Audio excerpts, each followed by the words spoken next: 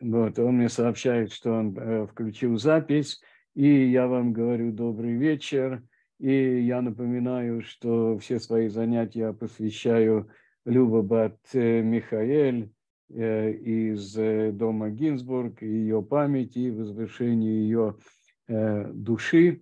Думаю, что это справедливо, потому что, в общем-то, то знание пророков, или, по крайней мере, умение как-то выразить мысль, найти, как-то облечь в слова те высокие образы, которые есть в пророках, это, э, если это есть у меня, то это ее, э, это ее заслуга. Вот я хочу напомнить вам, что мы с вами приближаемся ко дню э, Иерушалайма. Он в этом году, 18 числа этого месяца, по этому календарю. И это удивительный день, день Иерушалаема. Конечно, его надо было просто назвать день, э, день Победы в войне 67 э, года. Вот. Но из скромности, так сказать, или из боязни э, перед э, арабскими странами мы называем его Днем Иерушалаема. Я думаю, что все прекрасно э, знают, почему называется э, День Иерушалаема, потому что с 1948 года по 1967 год Иерушалаем оставался разделенным, только маленький кусочек э, принадлежал э, государству, государству Израиль, удерживался с трудом. И в 1967 году Всевышний сделал нам такое чудо, отдал Э, всю землю, почти все то, что было обещано Аврааму, и отдал наши руки, руки храмовую гору. И э, вопрос в том, как э, мы э, с этим соотносимся. Наш как раз сегодня урок, он посвящен, э, я бы сказал, аналогичной истории в книгах пророках. Э, мы возьмем с вами вторую книгу царств, которая параллельно описывает события Э, в той книге, которой мы занимаемся, в книге Ишаягу, просто параллельно несколько удобней э, пройти сейчас по Малахим Бет. Это нам даст возможность двигаться дальше по Ишаягу, потому что это центральное событие. Центральное событие – это то э, чудо, которое произошло где-то в 560 году до этой эры возле Иерушалаима, когда возле обреченного города по предсказанию пророка 180 тысяч э, ассирийского войска Ашура э, погибло в одну ночь. Кстати говоря, это была ночь Песаха. И вот мы попробуем э, с вами этим подробно заняться.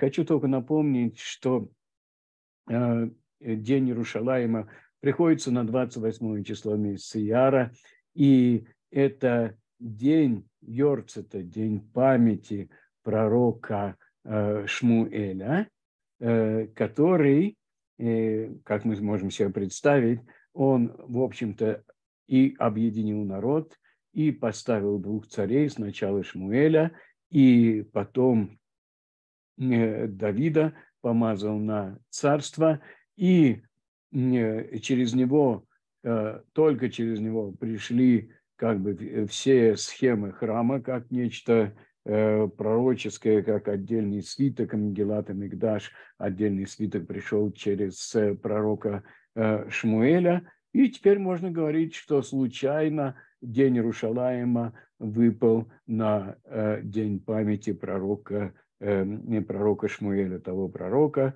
через которого пришел храм, по согласованию с которым Давид в первую очередь завоевал Иерушалаем и сделал его, э, сделал его своей столицей.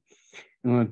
И наша главная тема, как бы начиная с конца, к тому, что, к чему мы вернемся, это э, восприятие э, чудес Всевышнего. Нам всегда кажется, что от э, соблюдения заповедей, таких как суббота, кашрут, праздники, э, тфилин, цицит, э, все зависит.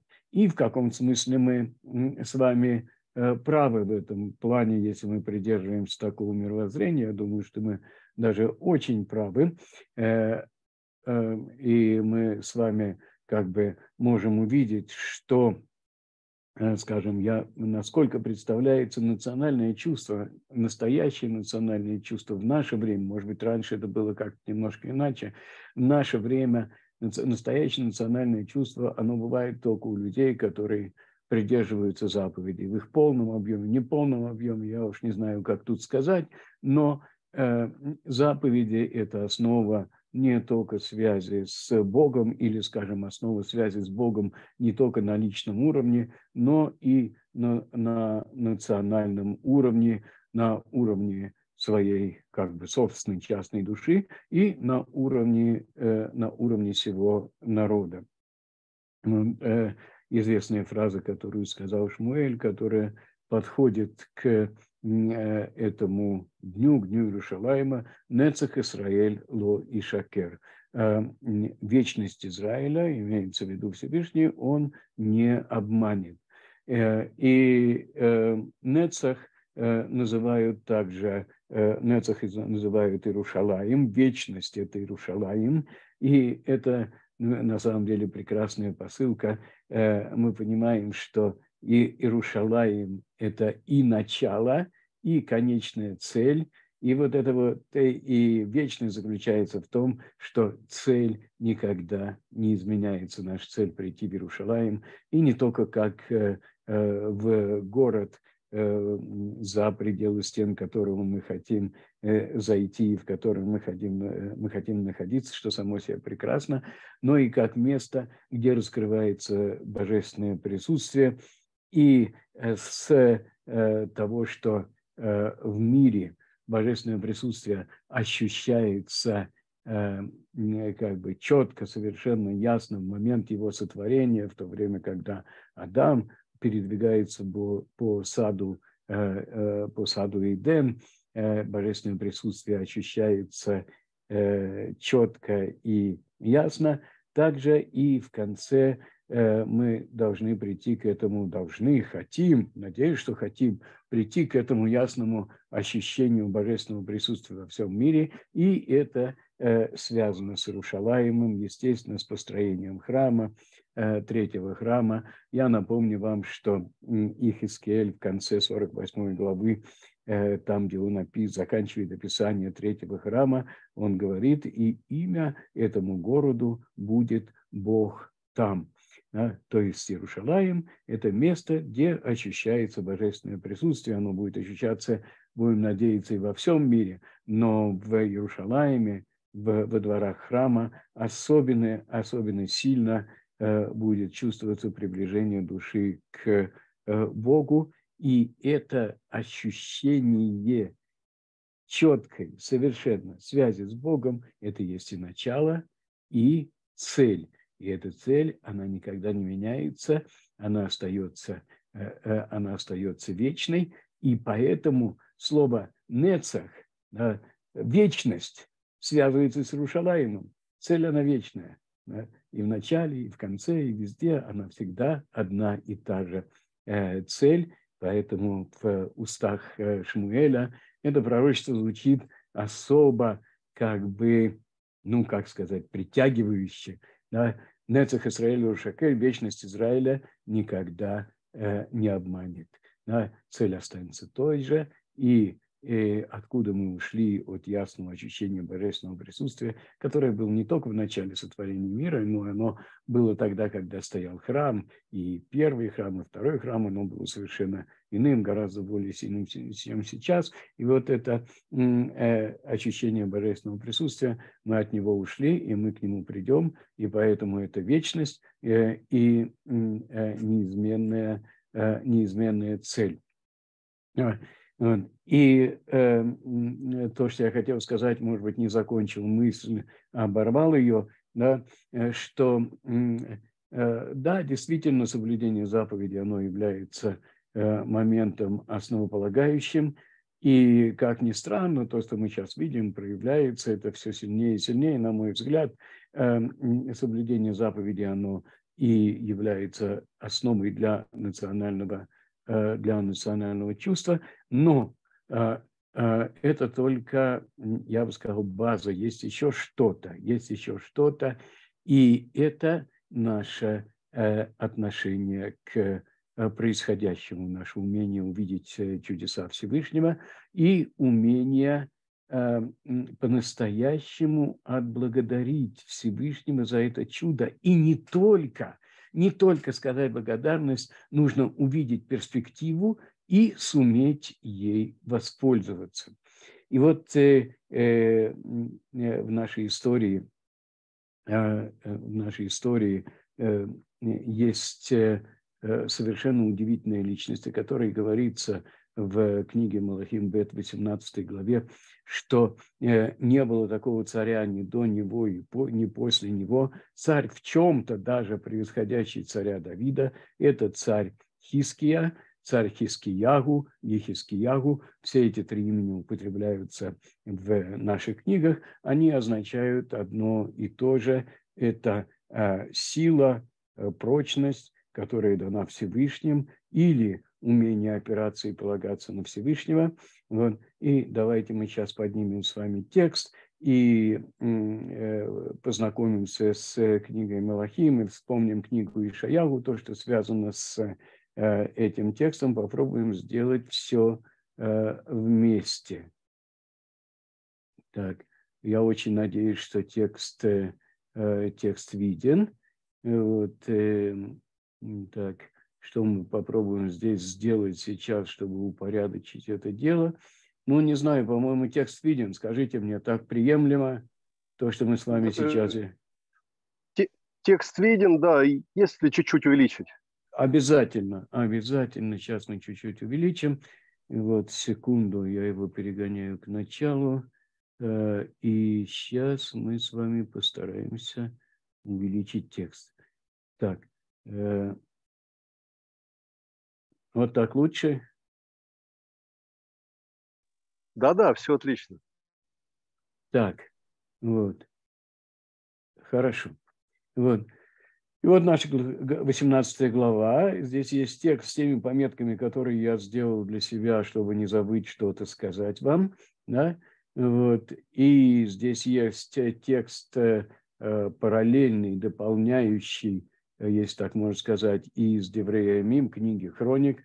Напомню, что книга «Хроник» была записана гораздо им позже, если текст книги э, Малахим записал э, Еремиягу, пророк Еремиягу в э, конце первого храма, то Деврея Мим Хроник была записана Эзрой при возвращении сыновей Израиля из э, Вавилонского плена.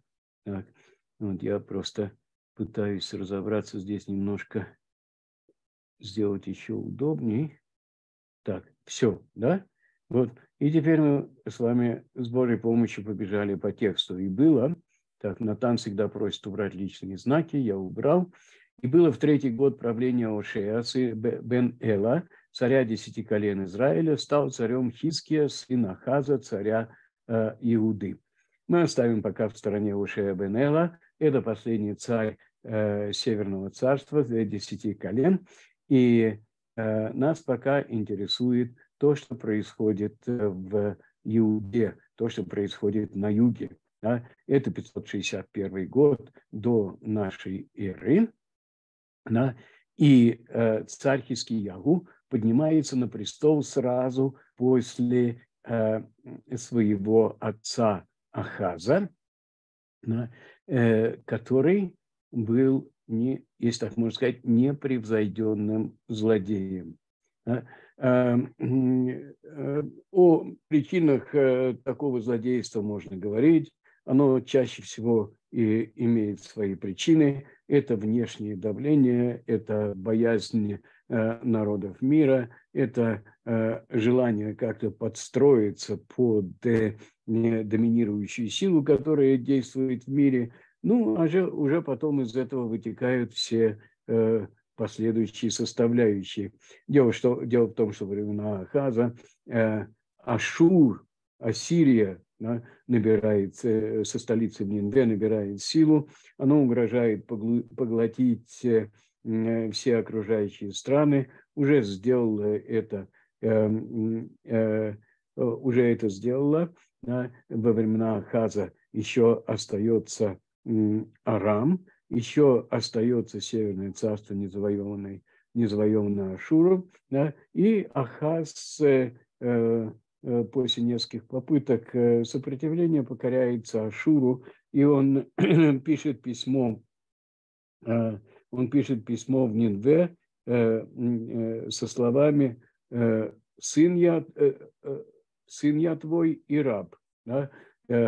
Э, и э, слова «сын» означают, что он принимает всю традицию, культуру э, Ассирии, которая пыталась насадить свою, свою культуру. В принципе, это первая такая страна, первая империя, которая угрожает поглотить весь мир. Вот. И, естественно, есть свои системы правления у каждой такой империи. Вот. А Ассирия предпочитала уничтожать полностью э, культуры других народов, в отличие от э, э, каких-либо других войн, в ассирийских войнах они уничтожали божества других народов. И это первая как бы империя, которая пытается решить проблемы или укрепить свою власть, скажем, тем, что она переселяет народы с места на место, иногда и не причиняя большого э, вреда населению, но только чтобы оторвать их от собственной земли, чтобы не было такого национального чувства и чтобы все им покорялись. И вот Ахаз склоняется перед Ассирией, и он закрывает храм, Э, и он насаждает э, идолопоклонство, храм превращается в место поклонения, э, место поклонения идолам. Ахаз проводит своих детей в честь Молоха через огонь, в том числе и Хиския. Агада говорит о том, что Хиския выжил, потому что его мать натерла жиром ящерицы саламандры – Э, ну, в общем, саламандра – это такое фантастическое существо, агадическое, и, и э, трудно тут сказать, что мать действительно сделала, может быть, она его действительно натерла каким-то жиром, который помогает устоять против огня, может быть, она молилась за него, да, вот, но э, как бы благодаря матери он выжил, и можно представить, что у Хискиягу Э, с самого детства зародилась ненависть к идолопоклонству. Немало значения сыграло в том, что у такого э, отца-злодея Ахаза вырос э, сын-праведник, и то, что при дворе Ахаза как мы, может быть, с вами говорили, находился пророк Ишаягу. Ишаягу был сам царского рода из семьи царей, и он как бы имел Э, доступ ко двору, был при дворе и имел влияние на, э, на Хискияву. А, э, а, Ахаз не стал бы подпускать Ишаяу к своему сыну, но он был младшим, два старших сына Ахаза погибли, и Ахаз никогда не думал, что Хискиягу поднимется на престол, ему было не так важно его Э, образования, будет ли он согласен с отцом во всем, что он делает, или не будет. Вот. И э, по стечению обстоятельств, вот так вот Хискиягу э, вырос человеком праведным под влиянием Ишаягу, под влиянием своей праведной матери. Да? Вот. И, говорится, 25 лет было ему, когда он стал царем, и правил бы он в Иерушалайме 29 лет, и имя же его матери Аби, Аби дочь Схарья. Вот, э, женщина, по всей видимости, праведная. Да? Вот. А, а, Ишаягу почти еще до того, как Хискияу поднимается на престол, он знаком с ним, да, и он пророчествует э, о нем и дает ему еще несколько имен, кроме Хискияву, Хиския и Хискияву, которым его назвали родители, э, он дает ему такие имена. Э, в 11 э, главе книги Ишаягу он его называет Пелеюец, чудесный советник, то есть человек, который может здесь совет не только кому-то посоветовать, а умение, умение сделать, выбрать правильный путь в, во всех частных делах и в, и в глобальных делах. Пелюец – человек, который верно выбирает верно выбирает дорогу, хорошо понимает, каким путем следует идти. Эльгебор, Бог сильный, такое имя дает он Хискиягу, рассчитывая на его твердость, твердость духа, на то, что он будет опираться всегда на Всевышнего. Авиад, отец вечности, тоже, естественно, соотносится со Всевышним, Сар Шалом, Сар Шалом, можно сказать, князь мира, да, князь мира, тот, кто правит миром, тот, кто утверждает мир. И мы видим, что Ишаягу возлагал огромные надежды на Хискиягу.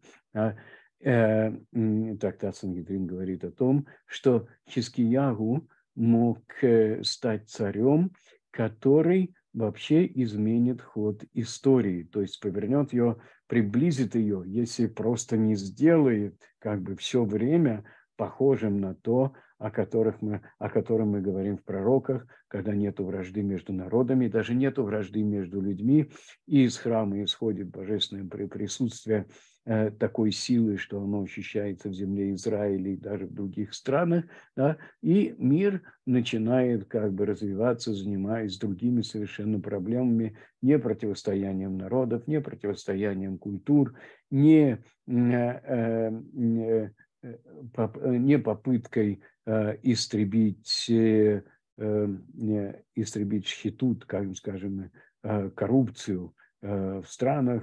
Вот. Совсем другими проблемами, духовными проблемами начинает заниматься мир. И э, таким образом э, мир должен был преобразоваться, что-то не получилось. Да?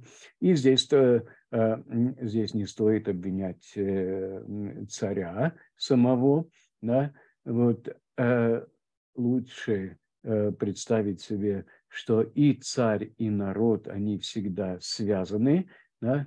и народ, так сказать, может подставить подножку царю, и царю гораздо более тяну, трудно тянуться э, за преобразованиями, великими преобразованиями в стране, когда у него нет поддержки в народе, да, все это следует э, э, учесть. В любом случае, что мы дальше не сказали про Хискиягу, я вам должен сказать, что он вызывает мое восхищение. И как человек, который нашел свой путь к Богу э, сам, или, по крайней мере, можно сказать, по своему свободному выбору, потому что перед, лицом, перед глазами был пример отца, весьма успешного, потому что этот ход покориться Ашуру, он э, дал стабильность стране и экономическое ее процветание. Ну, что только храм закрыт. Да? Еще нужно сказать, что Ахаз прекратил изучение в э, школах э, и э, преследовал пророков, потому что он не хотел никакого проявления божественного присутствия ничего божественного в жизни, в жизни народа он не хотел. И надо сказать, что, к великому сожалению, он добился больших успехов. Эм, его деятельность отрицательная сказалась и на последующих поколениях, на, поколении Хискияву. Так что, э, эм, когда э, обвиняют царя, говорят, что он там не справился с тем-то и тем-то. Э, в тексте часто проскакивает, что ни один царь виноват, или, может быть, даже не столько он виноват, как виноват народ. И, делам его, и э, дела его были прямыми в глазах Бога, и он поступал всегда так, как Давид, отец его, он брал пример с Давида. Он устранил возвышение, где приносили жертвы Всевышнему, разбил обелиски, срубил Ашеру и разбил медного змея, которого сделал Маше э, в пустыне, потому что до тех дней сыны Израиля приносили воскурение в честь него, и, назв, и, назван, и назван он был Нихуштан. Э, э, здесь пророк идет вперед, говорит о всей деятельности Хискияу, не только в ее первые годы. Но самая большая проблема для всех царей – это Э, принесение жертв, э, принесение жертв на высотах, да, когда люди, оставаясь в своих городах, ленились, не очень хотели приходить в храм на праздники, искали самые разные отговорки, и, но тем не менее хотели служить Всевышнему, приносили жертвы возле своих городов в нарушение строжайшего запрета Торы. Принесение жертв на высотах, которые строили, на жертвенник, которые строили на высотах, не, в честь Всевышнего не является идолопоклонством, но э, строжайше запрещено, строжайше запрещено Торой по Э, нескольким причинам. Первое – это то, что храм – это место, где распространяется божественное присутствие. Человек не только приносит жертву, он ощущает, он ощущает Всевышнего, когда он приходит во дворы храма. Это не происходит у частных жертвенников, построенных у э, построенных у городов в нарушение закона Торы. Э, он а приходит в город мудрецов и кагенов, где он может Э, почерпнуть знания Торы, что э, было очень трудно сделать э, в десятиколенном царстве это было очень трудно сделать, потому что Кагены и мудрецы Торы, они оставили царство еще при его, Северное царство его, при, при его разделении, подавляющее большинство из них. Но, и на Хискиягу делает то, что не смог сделать не, шлам, я не смог сделать Шламо, царь Шламо, не смог устранить э, э, высоты служения Всевышнему э, и привлечь весь народ к служению в храме. Почему? Потому что на четвертом году правления Хискиягу, я сказал, что здесь немножко пророк забегает вперед, да, прекратило свое существование Северное царство. Да, и, как мы с вами увидим, из книги «Хроника из Еврея Мим» создается такая ситуация, э, когда Хискияу делает совершенно нетривиальный шаг. Вся его жизнь – это нетривиальные шаги, вся его жизнь – это пример того, как э, человек э, полагается на Всевышнего и делает шаги, которые, казалось бы, нерациональны, и выигрывает выигрывает, потому что, э, потому что пользуется по, э, поддержкой, поддержкой свыше. Так вот, Хискиягу, эм, в общем, э, Хискиягу решил распространить свой суверенитет на Северное царство, которое,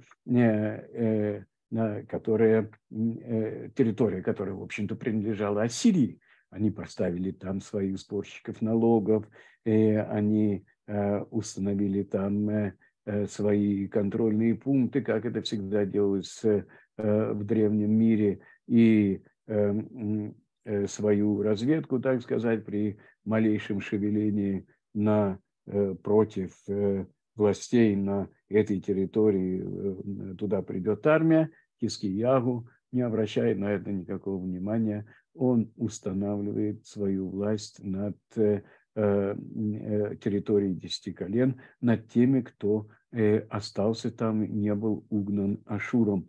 Угнать людей на другую территорию очень трудно, и поэтому нам представляется, что все 10 колен были угнаны. Это не так. Значительная часть их осталась на, на своих землях. И вот над ними стал, стал править Хискиягу создав единое царство. Так что он э, и поэтому ему было легче, у него появилась возможность истребить э, те возвышения, где поклонялись, э, где приносили жертвы Всевышнему вопреки закону, потому что до того, как, потому что в Северном царстве, в Южном царстве всегда смотрели на Северное царство. В Северном царстве не приходили в храм еще со времен его образования, со времен Ербаама бен э, Неват не, не приходили в храм и считали, что главное место служения Всевышнему – это Бейтель. Вот, и с пренебрежением относились к Иуде, видя, что в них э, миют, меньшинство, э, потому что 10 колен – это 10 колен, а, а Иуда и Вениамин – это два колена. Да? Вот, и очень трудно было противостоять вот такому духу господства Северного царства, поэтому цари до Хискиягу, даже правильные цари, праведные цари, они боялись как бы глобально запретить, запретить принесение жертв в Южном царстве на высотах, боролись с этим, но не запрещали Хискиягу, отменил все высоты. Мы посмотрим, как он это сделал. Да? Вот. Здесь говорится то, что он разбил медного змея, который сохранил, хранился святая святых. Да? Это связано с тем, то есть это событие, с одной стороны, может быть, не, незначительное, но это связано с тем, показывает, насколько представления о мире и о Всевышнем оказались как бы, ну, если так можно сказать, испорченными да, то есть э, испортились, получили неправильную окраску во времена Ахаза, который отменил изучение Торы, э, запутал людей, да, вот, и сейчас пришел к власти праведный царь, и он правит, но люди не могут отказаться от тех представлений, которые у них крепко-накрепко накрепко сидят в голове. И еще не прошло достаточного времени, чтобы мудрецы Торы э, как-то восстановили этот дух, или понимание единства Всевышнего в народе. Да?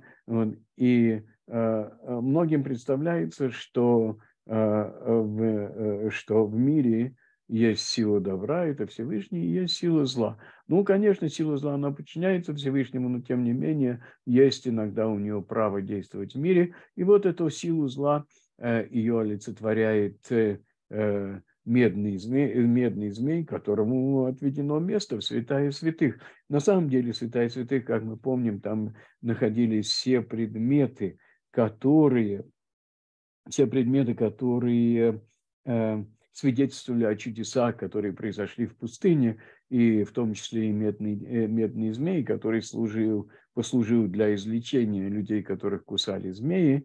Вот, все, кто смотрел на него, Э, выздоравливал. Я не вдаю часть подробностей, может быть, мы успеем как-то э, в дальнейшем поговорить об э, смысле этого рассказа и этого медного змея, но сейчас нам важно то, что люди стали ассоциировать его с силой зла, который Э, которая присутствует в мире, может быть, по воле Всевышнего, вот, и ему стали поклоняться, чтобы задобрить. Надо поклоняться силе добра Всевышнему, чтобы он давал благословение, надо поклоняться силе зла, чтобы она ничего не портила и не ломала. Увидев, что вот этот э, дуализм, он прочно засел в голове, Хискияу пошел на необыкновенный шаг. Он взял предмет, который хранился в святая святых, и до этого никто, самые праведные цари, не поднимали на него руку и не чувствовали такой необходимости. Он раздробил его вот, и назвал Нихуштан некоторое, некоторое пренебрежительное э, такое слово, которое э, говорит как бы э, от нехошет, э, медь, да, медный змей, да, медненький такой, да, вот сделанный, э, э, нечто маленькое, сделанное э, из меди, и ничего больше в нем, ничего больше в нем нету. Да? Вот. Это рассказывается в трактате Йома на, 2, на 52 листе. Вот. Про Хискиягу также говорится, что он скрыл книгу излечения Шламо. Тут тоже можно долго говорить. Э, книга излечения Шламо представляла собой э, некоторые таблицы с определенными изображениями, э, которые, которые были установлены в храме, в помещении. Люди приходили туда и как бы соотношение с этими таблицами, с пониманием своего греха помогало им выздоравливать во времена Хискиягу, после Ахаза. Это перестало работать, потому что для всего нужно божественное присутствие, нужно благословение. Мало только посмотреть на изображение, представить что-то, опуститься в какую-то, или пуститься в какую-то медитацию, или каванот, как говорят. Все это за хорошо и прекрасно, но нужна помощь свыше, и вот ее не было, и эти таблицы перестали действовать, и Хискиягу принял решение спрятать их. Да? И то, что не упоминается ни в э, Мелахим и ни в Евреи книге Хроник, э, говорится в трактате Псахим на 56-м листе, в день, когда Хиския, Хискиягу взошел на престол, он сделал нетривиальную, нетривиальную вещь, которая показывает, что он на протяжении всех лет, до 25 лет, пока он зашел на престол, он хорошо думал, о чё, что он будет делать и э, какое направление э, развития э, для страны он выберет. Царь Хискияву протащил кости отца своего на носилках, сплетенных из веревок. Э, э, он провез останки отца вокруг э, Иерушалайма или где-то вдоль стен Иерушалайма, для того, чтобы показать, что злодей не достоин уважения, нет обязанности уважать даже отца э, злодея. А самое главное, он хотел, чтобы люди поняли, что он э, пойдет совершенно другим путем, не таким, как Ахаз, что у него нету никаких сентиментов к отцу в том смысле, что он что он делал и что он творил, и он возьмет совершенно другой путь. И вот это три дела, которые можно вспомнить, это, да, э, это, бедный, это, э, это уничтожение или прекращение э, служения на высотах, медный змей и книга излечения Шламо. Да? Вот, и также то, что он протащил Э, э, останки отца вокруг Иерушалайма на носилках из веревок. Да?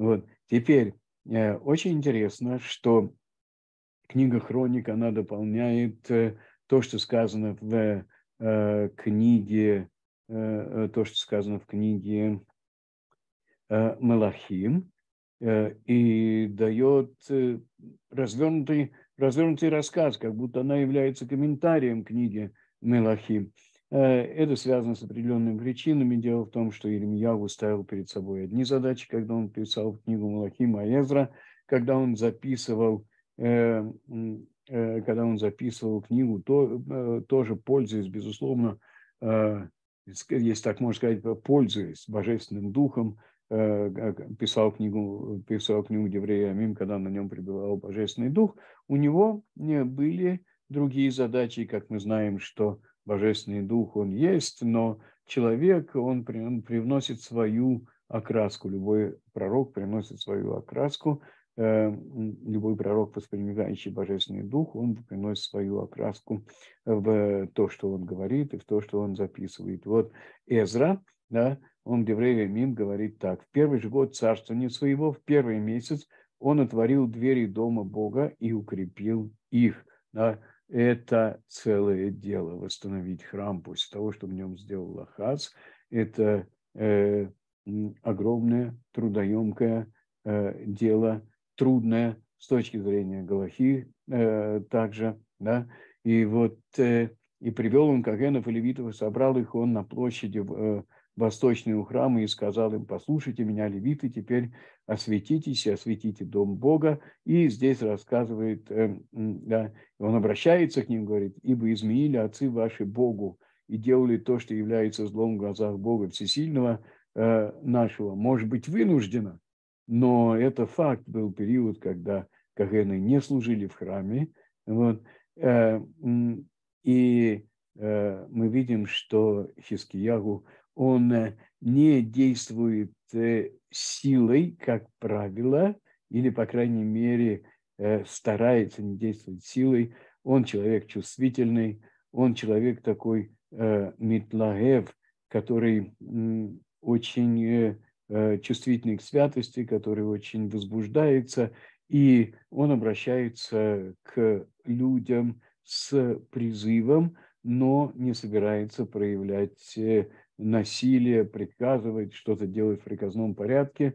Он хочет, чтобы люди вернулись ко Всевышнему, к служению ко Всевышнему после тяжелых лет э, правления Ахаза. Ахаз правил 16 лет, э, э, чтобы они вернулись с любовью, а не по принуждению.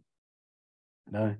Вот, и он говорит, также заперли двери входного зала, да, вот, э, может быть, и не сами Кагены заперли двери входного зала, но они были вынуждены э, уйти из храма, прекратить работу. Погасили лампады, вот, и по куче стравы не воскуряли, не прекратили воскурение на золотом жертвеннике и так далее, да, и был гнев Бога на Иуду и на Рушалаем, он, он предал их в руки врагов на истребление, на разрушение. Да? Вот, э, до того, э, э там евреям им говорится еще, э, и вот пали отцы э, ваши от меча, наши от меча, было много войн, теперь у меня на сердце, я задумал заключить союз с Богом Всесильным Израиля, чтобы отвратил он от нас пылающий гнев, э, пылающий гнев свой. Да? Когда говорит это Хискиягу, очень э, интересно себе представить, а? вот, э, представляется, что он это говорит в э, первый день, когда он поднялся на престол. Что происходит в этот первый день, мы еще с вами э, узнаем. Сыновья мои, теперь не заблуждайтесь больше, потому что вас избрал Бог, предстоять перед Ним, это обращение к Кагенам и к левитам, да, и говорится, что левиты откликнулись на призыв э, э, Хискиягу, и семейство левитов э, встали и начали возвращаться к служению после долгого перерыва. Да? Вот.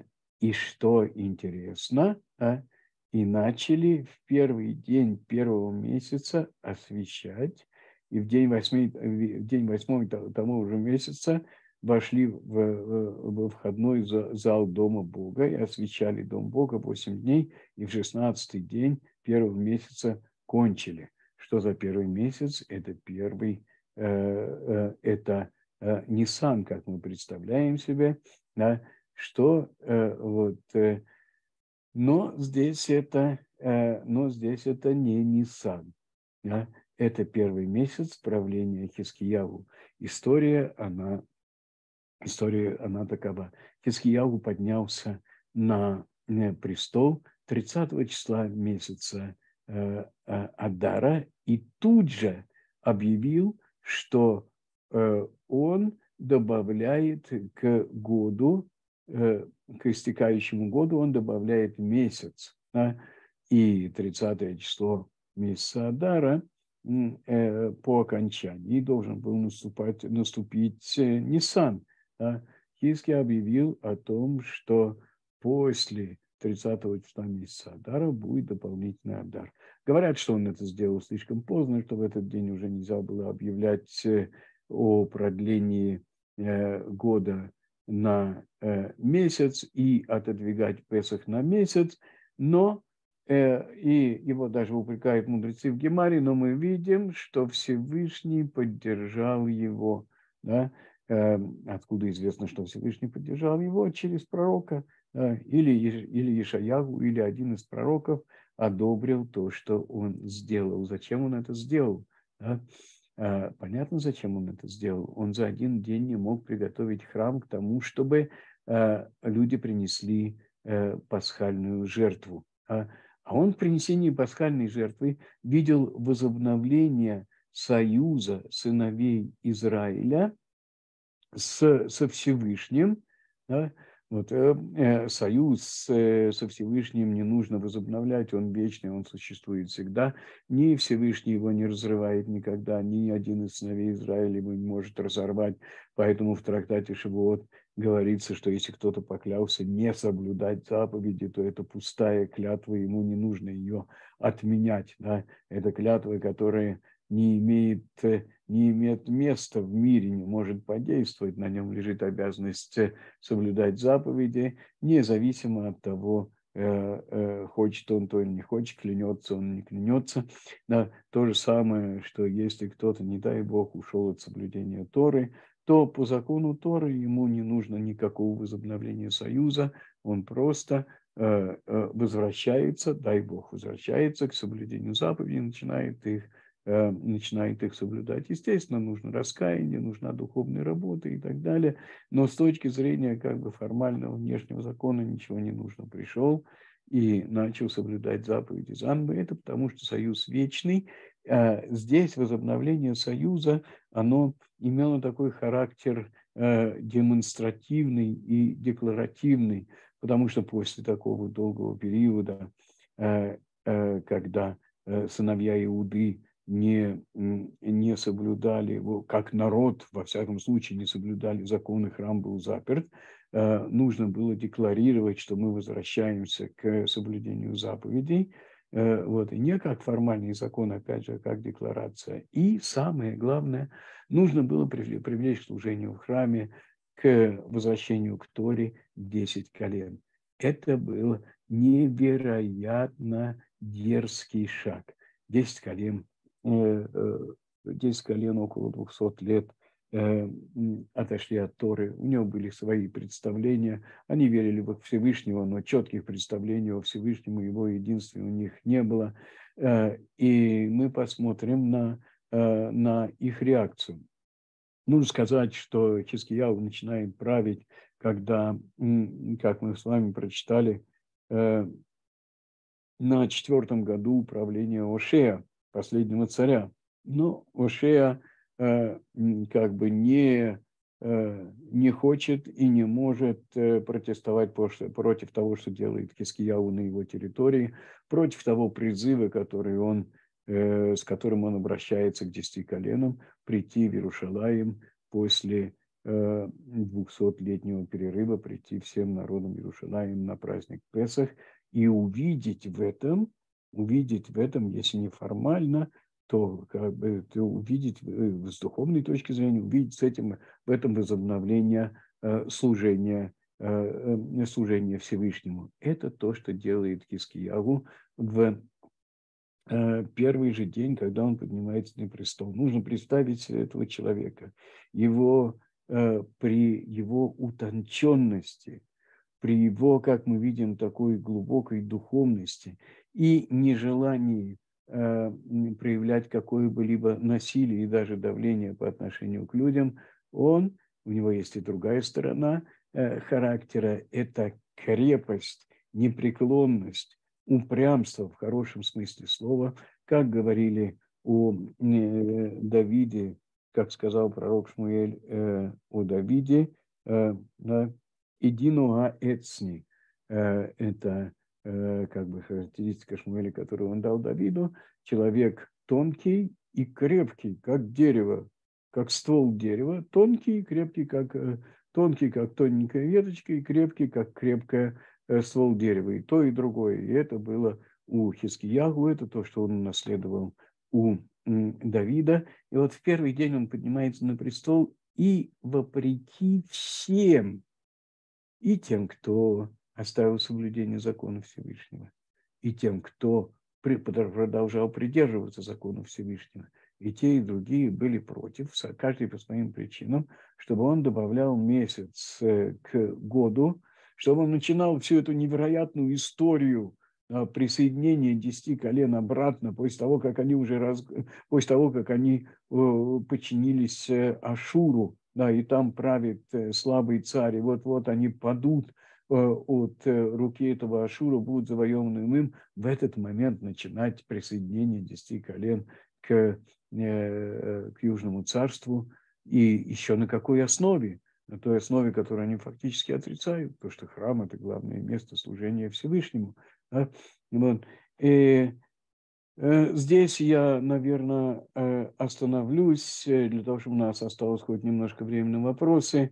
И, как всегда, я замахнулся очень на, на много, но мы постараемся с вами на следующем занятии продвинуть эту тему и не отходить от нее. И, может быть, уже после дня Э, Иерушалаима, представить себе, что произошло с Хискиягу и что произошло с нами, с э, нашими руководителями и с народом после э, войны, после шестидневной годы, войны 67 года. Теперь, если есть какие-то вопросы, пожалуйста, я останавливаю share. Я вижу все ваши квадратики. Никто не хочет показывать свое лицо. Один я тут должен понимаете, выставлять свою физиономию, которую я и так в зеркале вижу все время. Вот. Ну ладно, хорошо. В любом случае, физиономия не обязательно, э, вопросы желательно учить. Давайте. Если можно что-то что хочется спросить, то пожалуйста. Вот.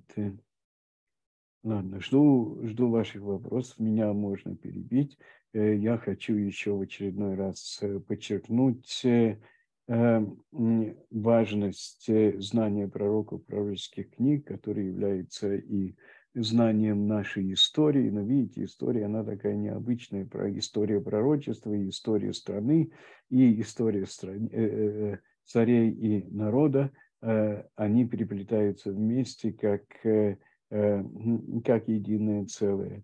Вот, э, и э, без знания пророков очень трудно иногда сделать и правильные, правильные галактические выводы.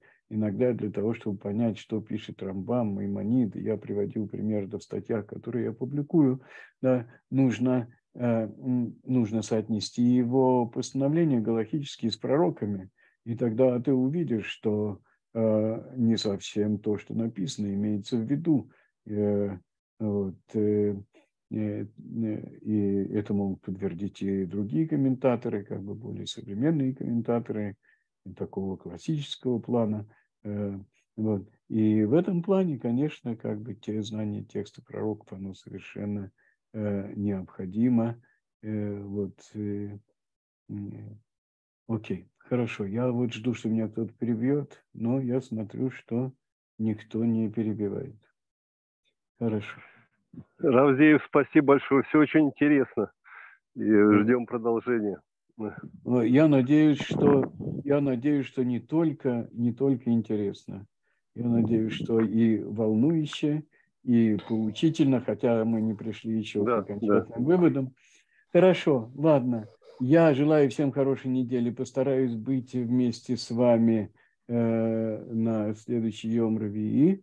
Вот, э, эм, э, хорошо. Ладно.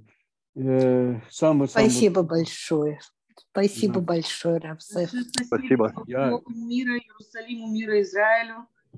И все будет хорошо. Да. Спасибо. Да. Спасибо за хорошие пожелания всему народу. Хорошо. Ладно, всего самого доброго. Вот э, я останавливаю запись. Секунду, секунду, recording, recording, stop. Ну, скажите мне, э, you want to stop recording to the cloud? Yeah.